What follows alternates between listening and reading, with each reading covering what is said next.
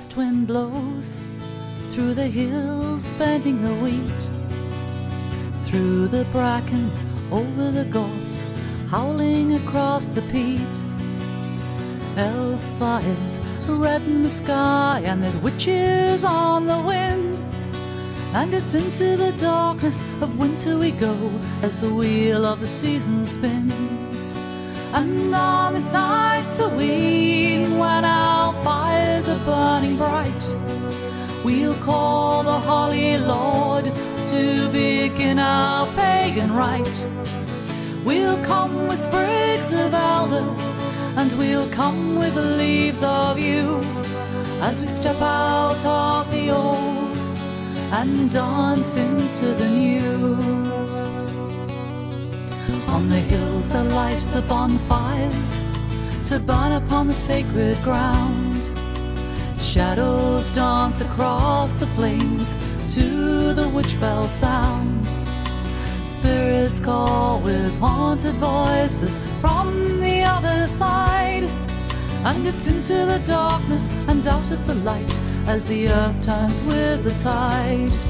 And on this night serene, when our fires are burning bright, we'll call the Holy Lord to begin our pagan rite. We'll come with sprigs of alder, and we'll come with leaves of yew, as we step out of the old and dance into the new.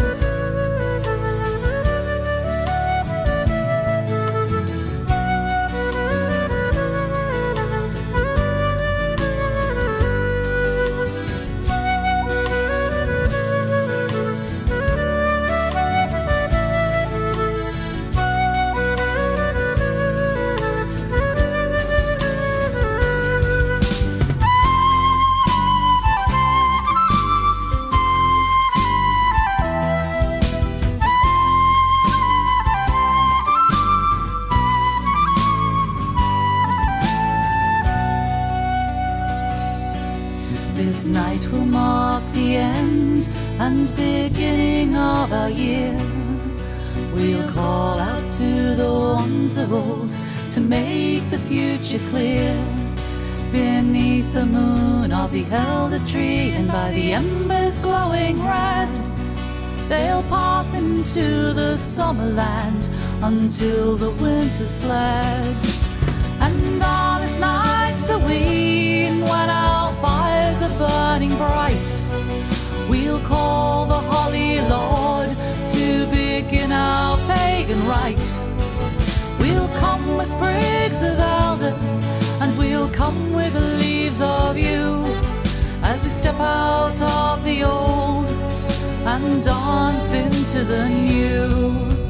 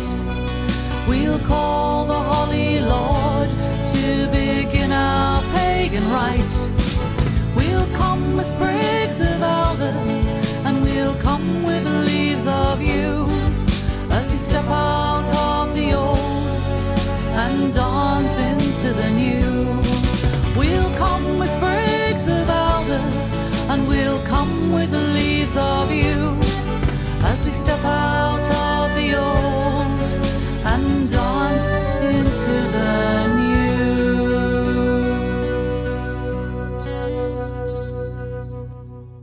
The views expressed and the opinions given by the individual host and their guests do not necessarily reflect those of Para X, its affiliates, or its sponsors.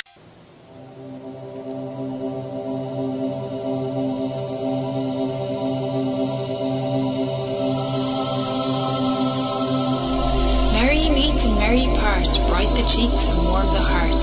For tread the circle thrice about, to keep unwelcome spirits out. Bide within the law you must, in perfect love and perfect trust. Mind the threefold laws you should, three times bad and three times good. These eight words the Rede fulfill, and ye harm none, do what ye will.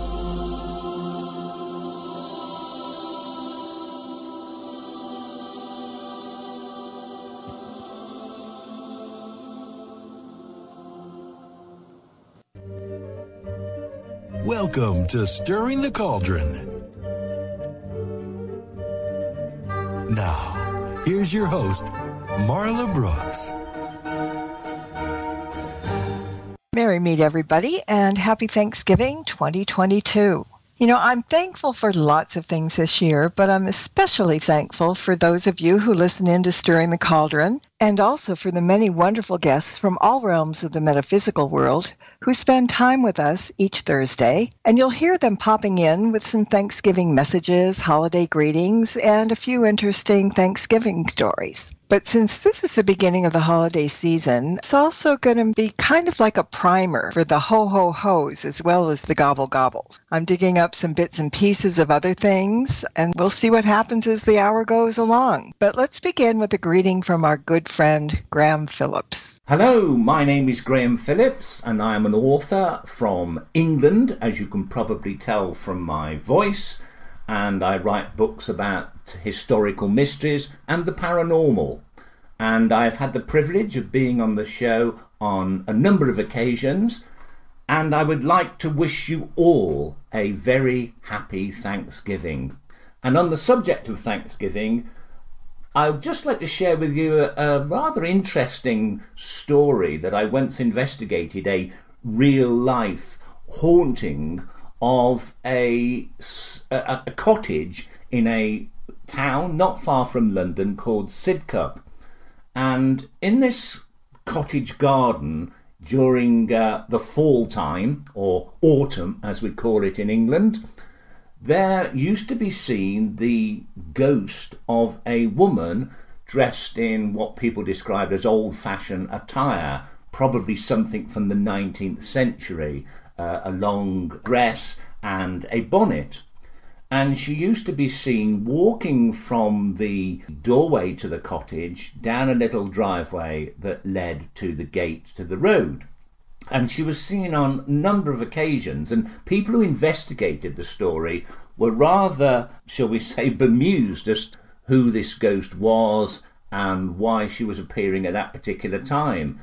And there seemed to be nothing in history that suggested that time was important throughout the year. And one day, a American visitor to England was uh, had heard about the ghost story and suddenly thought, hold on a minute, this ghost is always appearing on Thanksgiving Day, which was something that most people in England weren't really familiar with. And it turned out, in the end, that this ghost was supposed to be, anyway, the spirit of a lady who had immigrated from England to America in the mid 19th century so that is just an interesting little tale that I have to share with you about Thanksgiving Day. I think it's quite fascinating, to be quite honest, as nobody in this country actually realised the connection and, until an American came across and investigated it. Anyway, I wish you all again a very happy Thanksgiving. In case you think you know it all about the holiday season, I found a few little known holiday facts that you may or may not have heard of. So here's a rundown. First off, Jingle Bells was originally a song about Thanksgiving in 1857. The tradition of football on Thanksgiving began in 1876 with a game between Yale and Princeton. The first NFL games were played on Thanksgiving in 1920. There are four towns in the United States named Turkey. They can be found in Arizona, Texas, Louisiana, and North Carolina. Black Friday is not the busiest shopping day of the year. That distinction goes to two days just before Christmas. Now, Rudolph the Red-Nosed Reindeer got his start as an advertising gimmick for Montgomery Ward in 1939. November and December are two of the most dangerous months of the year because of holiday decorating injuries, 34% of which are falls. When the candy cane was invented in Germany, it was shaped in a J for Jesus Christ. The red stripes symbolize his blood. The average consumer spends $407 on Black Friday. Well, at least last year that's what it was, and with inflation, it's going to be a lot more this year. December 25th was likely chosen because it coincides with the pagan festival of Saturnalia, where there was partying, gambling, and gift giving. The ancient Greeks considered the mistletoe as an aphrodisiac, which is probably why kissing under the mistletoe will bring you luck in your love life. And those are some interesting facts, in case you were ever curious. Hello, Marla. Happy Thanksgiving to you. This is Scott from Dearly Departed Tours. I want to point out that this Thanksgiving is the sixth death anniversary of Carol Brady herself, Florence Henderson, who died of heart failure at the age of 82. Be careful around your dinner table. Did you know that both Pablo Picasso and the infamous Hide the Sausage Man, Jimmy Dean, both died while sitting at the dinner table? That's right. You're very welcome. Lots of love and chew your food. According to Joseph Gaer, author of the book Holidays Around the World, we often think of Thanksgiving as an American holiday, begun by the Pilgrims in Plymouth in 1621. At that time, the survivors of the Mayflower passengers celebrated their first harvest in the New World with a feast to which Governor Bradford invited the Indian chief and 90 of his braves. That was the first Thanksgiving Day in the New World. But actually, a Thanksgiving for the annual harvest is one of the oldest holidays known to mankind, though celebrated on different dates. In ancient Egypt and in Greece, the harvest festival was celebrated with great rejoicing. The Hindus and the Chinese observe the gathering harvest with a holiday as well. The pagans in ancient Rome celebrated their Thanksgiving in early October. The holiday was dedicated to the goddess of the harvest, Ceres, and the holiday was called Cerealia. Ancient Greeks honored Demeter, the goddess of agriculture. The Catholic Church took over the pagan holiday and it became well established in England, where some of the pagan customs and rituals of the day were observed long after the Holy Roman Empire had disappeared. In England, the harvest home has been observed continuously for centuries. Marla, Barry Fitzgerald here. Although we don't celebrate Thanksgiving here in Ireland, this year, more than ever, it's a time to ponder and be thankful for what we do have. Happy Thanksgiving to you and all your listeners.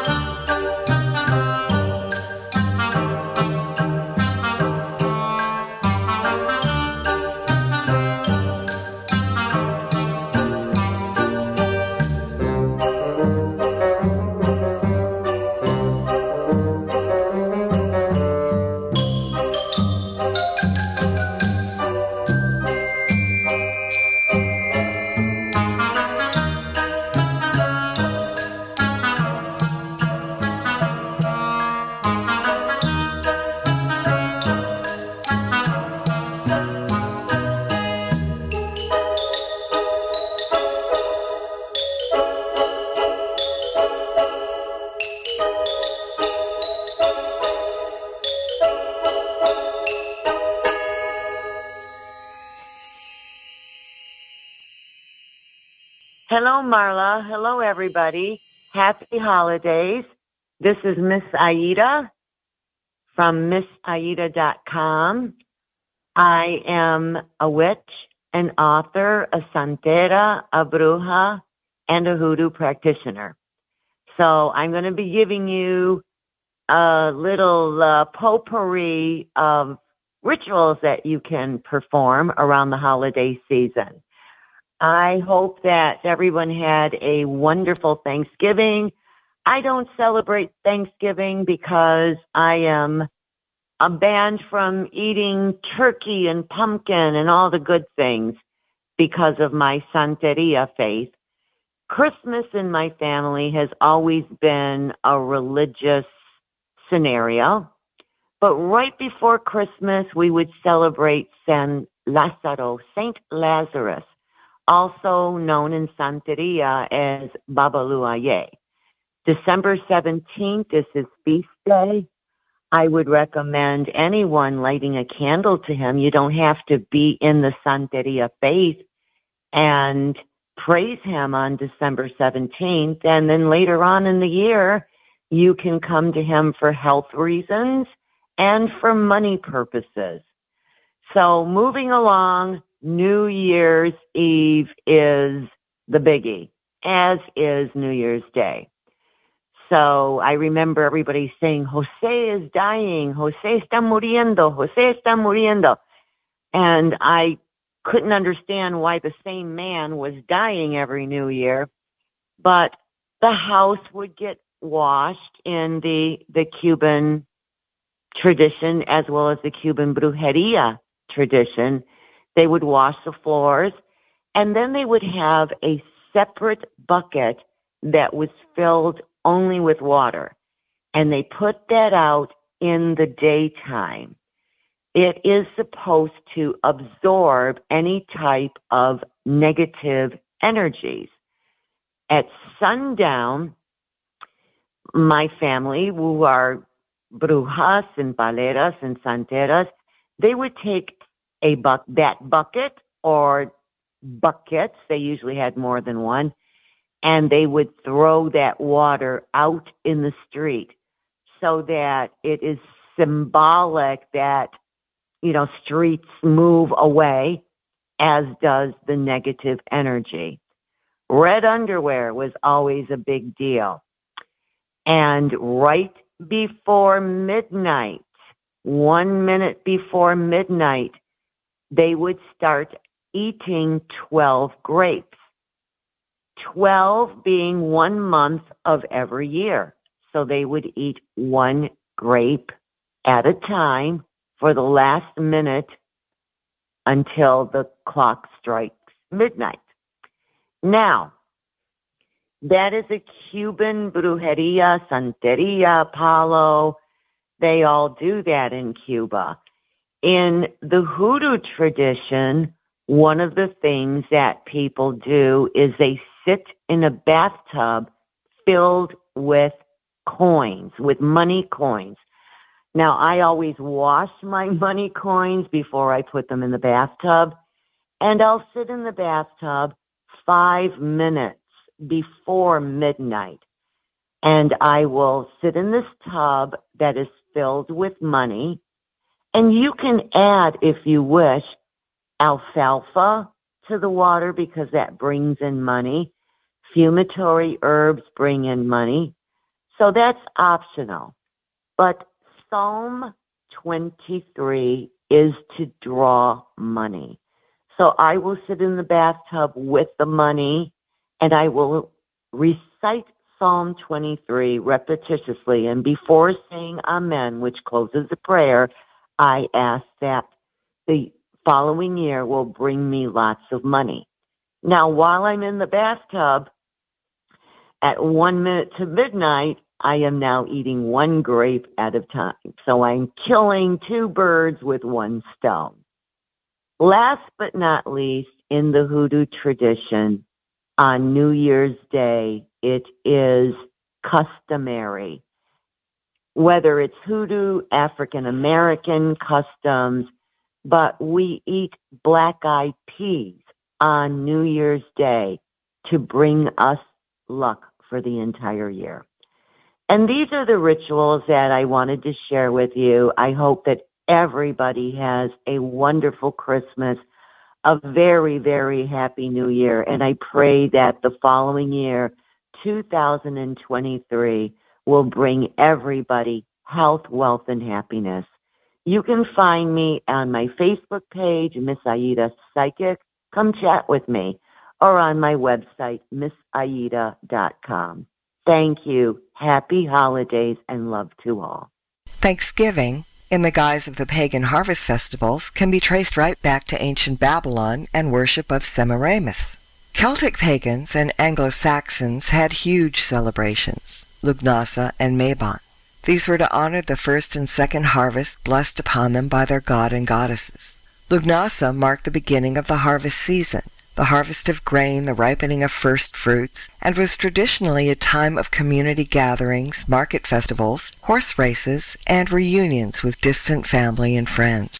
Hello, everybody. This is Bruce Tango. You might have seen me once in a while on that great show called Ghost Hunters with my son and the rest of the guys from TAPS. I want to wish everybody a happy Thanksgiving. I hope you have a great day.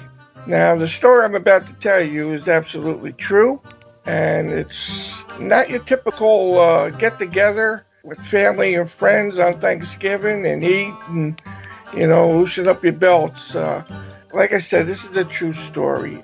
We usually go to my sister's house. She owns a big home, uh, a two family, and she lives on the second floor. So, you know, I'm, I'm late and I'm going over there and uh, I open up the downstairs and I start walking up.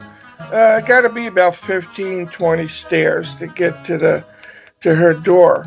Now, mind you, when you get to the door, uh, as soon as you walk in, there's the dining table, only about four feet away. So I, I arrive at my sister's house. I open the downstairs door, and you know I'm a big guy, and you heard me walking up.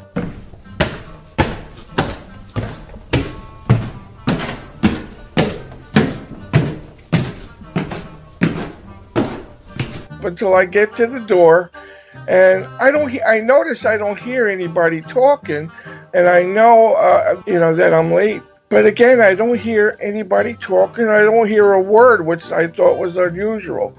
So I opened up the door. And when I opened up the door, uh, there's a bunch of family and friends just staring at me with their eyes wide open, and it, it no doubt was a look of fright. And I'm saying, "What's what's going on?" And they says, "Oh, they they were all catching their breath." What had happened is about 15 minutes prior to me getting there, they're sitting at the table talking and such and uh, they heard what they thought was me coming up the stairs. Uh, they heard the downstairs door close, and they heard somebody walking up the stairs.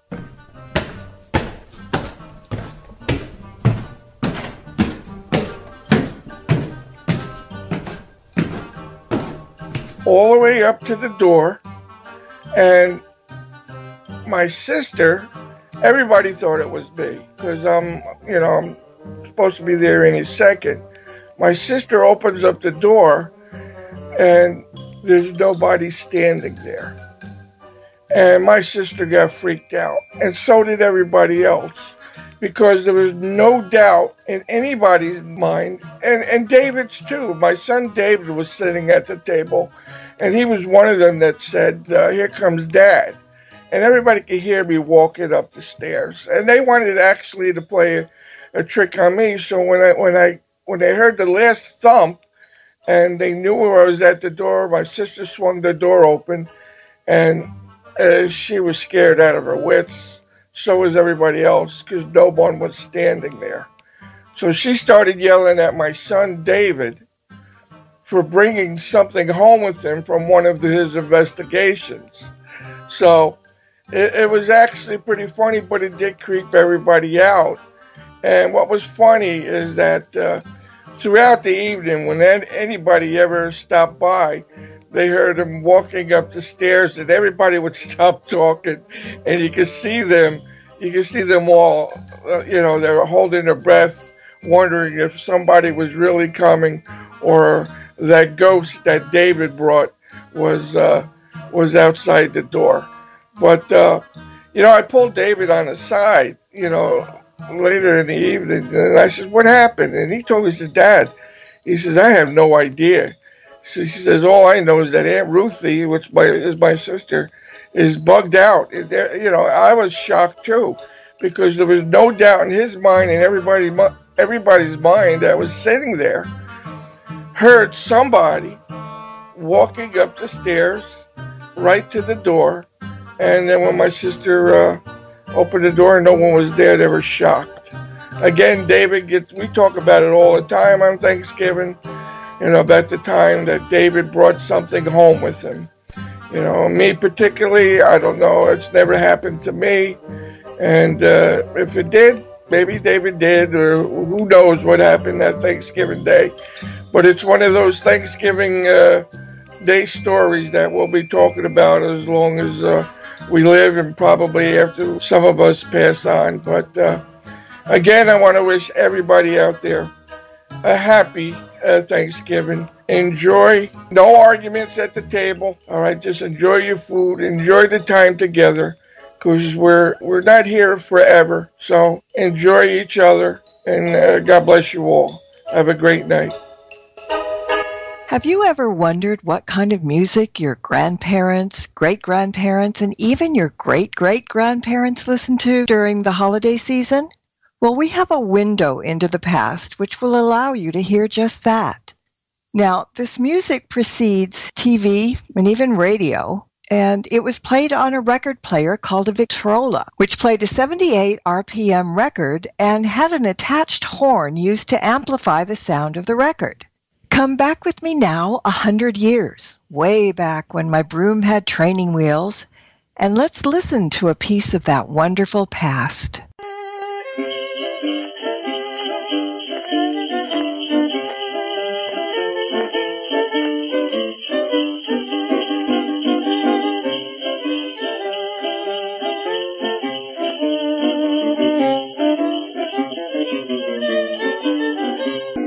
Carry my pretty toys for all the girls and boys to make them gay and happy Christmas morning. Jingle bell, jingle bell, jingle all the way. Oh, what fun it is to ride in a one-horse open sleigh. Dashing through the snow in a one-horse open sleigh. For the field we go, laughing all the way. Bells on bobtail ring, making spirits bright. What fun it is to ride and sing a sleigh song tonight. Oh, what fun it is to ride in a one-horse open sleigh. Listen, big boy, now that I've got you made, goodness, but I'm afraid something's gonna happen to you. Listen, big boy, you got me hooked and how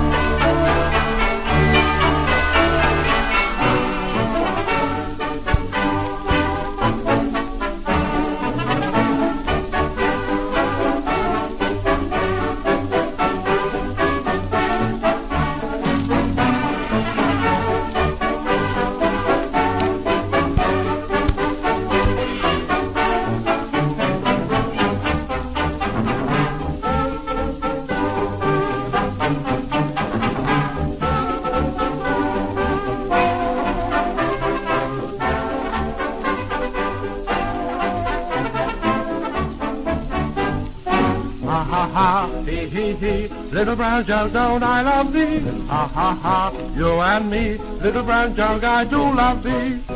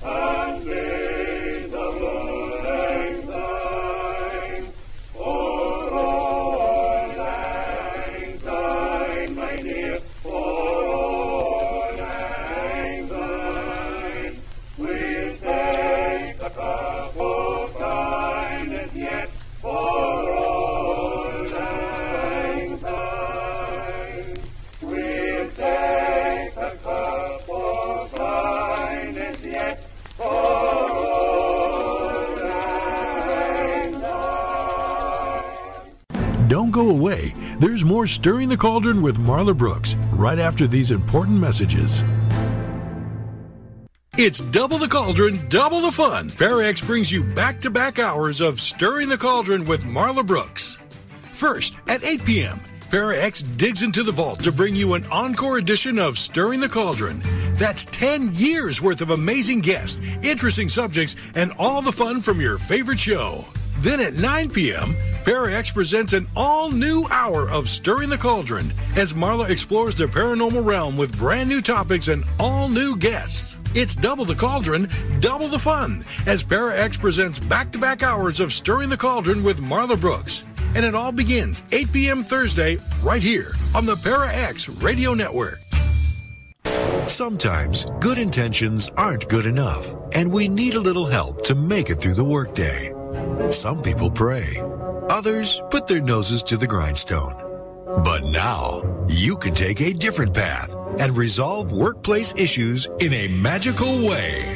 From the author of the Ghost of Hollywood series, Workplace Spells Everyday Magic on the Job, by leading author Marla Brooks.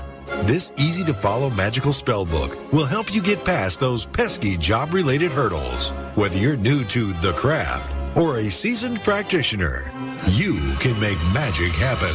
Workplace Spells Everyday Magic on the Job by Marla Brooks would make a great gift. Ask for it at your local bookstore or order online through schifferbooks.com, Barnes & Noble, or amazon.com.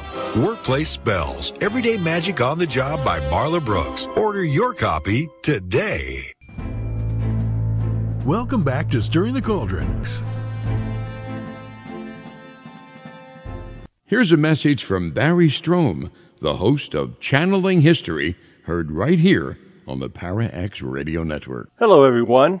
Connie and I hope that all of you are having a great Thanksgiving. Thanksgiving's a great holiday. You get a vacation from work, eat a good meal, hopefully see family and friends. Now, when the Pilgrims celebrated that first Thanksgiving, they were simply blessed to be alive after all they endured crossing the ocean because of religious persecution. They were not allowed to worship as they pleased and endured an incredible hardship to pursue that right. Now, we're living in a difficult time as well, but this holiday can be an opportunity to bring people together and help others. Our wish is that everyone takes a few moments this weekend to count your blessings and take a moment to help someone that's not as blessed as you are. Maybe just call a family member that's lonely. Many seniors are by themselves and think they're forgotten.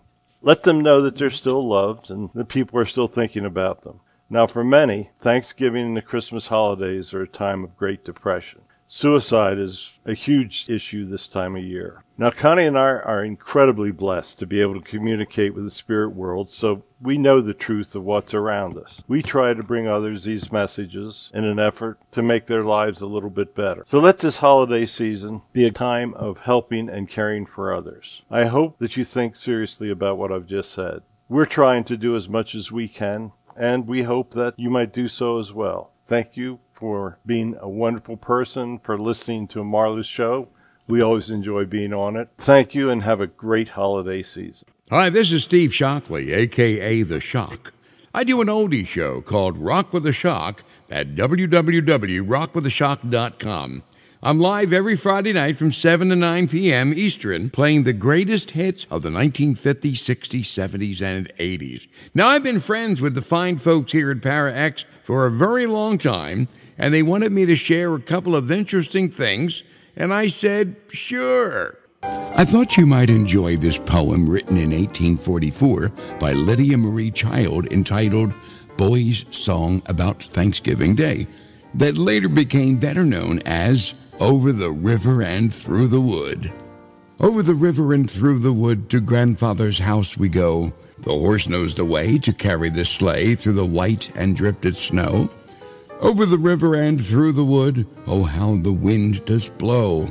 It stings the toes and bites the nose as over the ground we go. Over the river and through the wood, trot fast, my dapple gray. Spring over the ground like a hunting hound, for this is Thanksgiving Day. Over the river and through the wood and straight to the barnyard gate. We seem to go extremely slow. It's so hard to wait. Over the river and through the wood, now grandmother's cap I spy. Hurrah for the fun! Is the pudding done? Hurrah for pumpkin pie! Now, my story, while it goes back quite a ways, does not quite go back to 1844, although it might as well have. It's the week before Thanksgiving Day, and my mother had a certain Thanksgiving protocol by which she followed, just as her mother did and her mother's mother did before that. Certain other preparations were made prior, that is, procuring the proper items from a list handed down through at least four generations, with a few small changes due to modernization and certain foods now available in prepared or pre prepared availability. First, the appetizers and garnishes. Fresh celery was number one on the list, as it was to be cut into four inch long pieces, then get stuffed or filled with Philadelphia brand cream cheese. The cheese actually invented in New York in 1871 by a man called William Lawrence.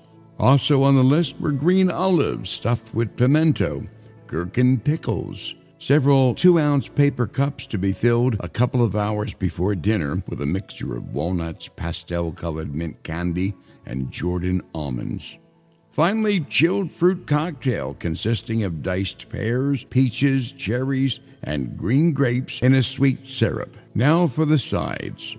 Fresh potatoes for making a mountain of mashed potatoes, fresh sweet potatoes, butter, brown sugar, and a dash of orange juice for making candied sweet potatoes, fresh carrots, butter, brown sugar, and a dash of orange juice for making candied carrots, yellow niblet corn, fresh green beans, bread cubes with a variety of seasonings for making stuffing, all of the ingredients for making flaky dinner biscuits, cranberry sauce jellied, pumpkin, usually in a 15 ounce can, and a variety of spices with which to bake homemade pumpkin pie, prepared mincemeat from a jar, dough, and pie baking pans with which to bake a nearly homemade mincemeat pie.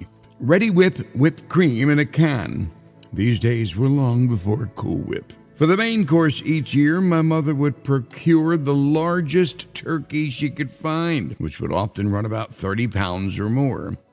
The turkey was placed in the refrigerator at least a week prior to Thanksgiving in order for it to thaw. The afternoon before Thanksgiving Day, Mom would pull out the inners, that is, the neck, the gizzard, the heart, etc., all of which would get boiled until tender. She pulled all of the meat off the neck, placed it in a bowl, then, using a hand crank meat grinder, would push all of the other parts enough to make giblets, which would be divided up for her homemade turkey gravy and her stuffing. She would then prepare and bake the pumpkin pies and mincemeat pies, at least two each all the night before. Once the pies were all done, she would carefully stuff the turkey and pull it all together using turkey skewers, all pulled together with a twine. Mom would bake the turkey using the same formula every year. She would add three pounds to the weight to account for the stuffing, and then calculate 20 minutes per pound at 225 degrees. So, a 30 pound turkey became 33 pounds with stuffing and at 20 minutes per pound would have to slow roast for 11 hours, which was done in the overnight hours. If she put the turkey in at 10 p.m., it would be done by 9 a.m. the following morning after having filled the entire house with the aroma of roasting turkey from about 3 a.m. on. Finally, the day had arrived. In the morning, my brother and I bundled up and went out in the brisk, cold November air to attend the high school's football rival game. By the time we got home, my maternal grandparents, some family friends, and their kids had arrived for dinner. We, of course, were to be seated at the feared kids' folding table and folding chairs in the living room, while the adults got to sit at the main dining room table under the chandelier in plush dining room chairs. We feasted for what seemed like hours, and then laid around like walruses and moaned for what seemed like even longer. We always ate too much. I learned back then, due to the number of selections available, to put far less of each on the plate, and it would be fine. I hope I haven't made you too hungry. Don't eat too much. And from my family to yours, have a wonderful and safe Thanksgiving holiday. Hello, Richard Sennett here, wishing you a very happy Thanksgiving holiday and enjoy that monster of turkey. happy Thanksgiving.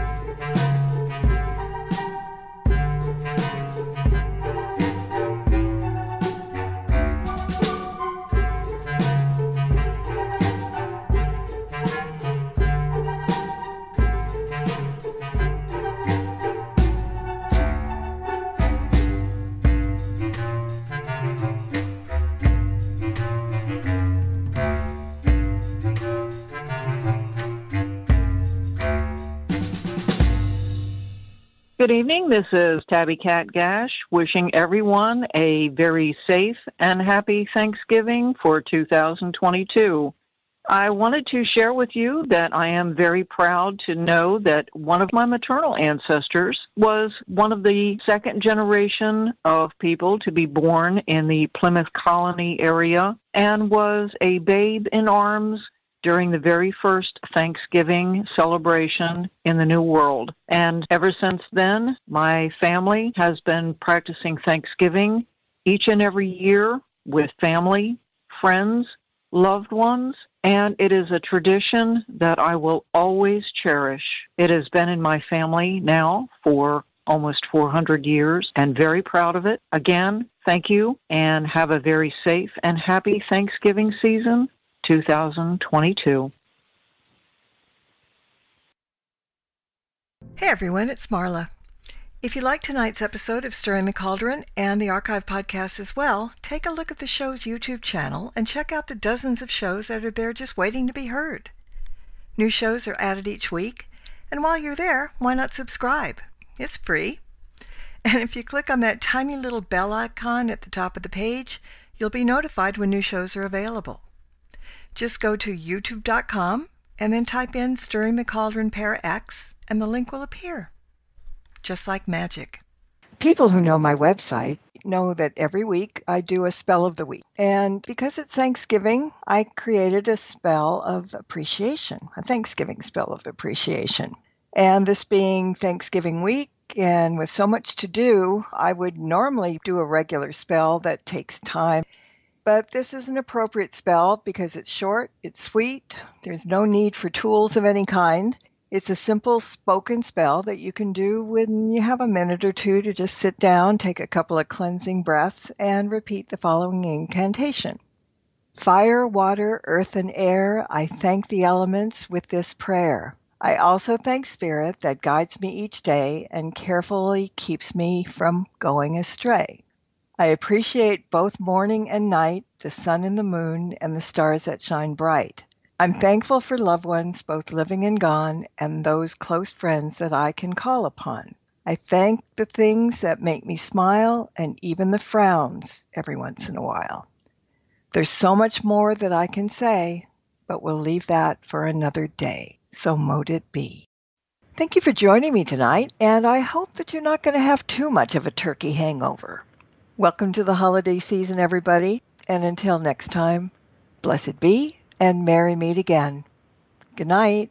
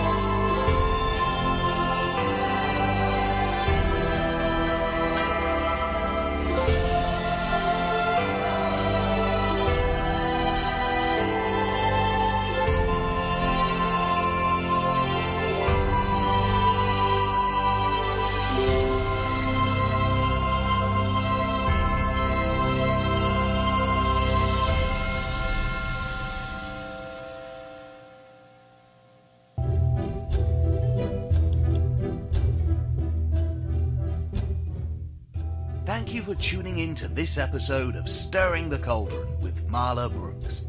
Please join us again next week at the same time for another great guest and more cauldron stirring. Any rebroadcast or other use of this program without explicit permission is strictly prohibited. Copyright 2018. The Path of the Goblin King by Kevin MacLeod is licensed through Incompetech.com.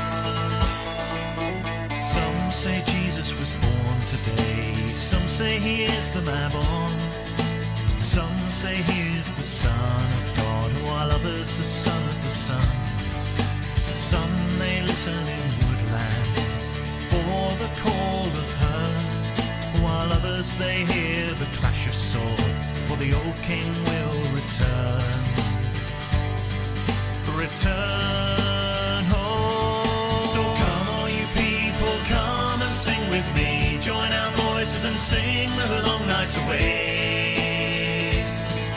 All over the land, a chorus of voices will sing for the rising sun on midwinter's day. On midwinter's day.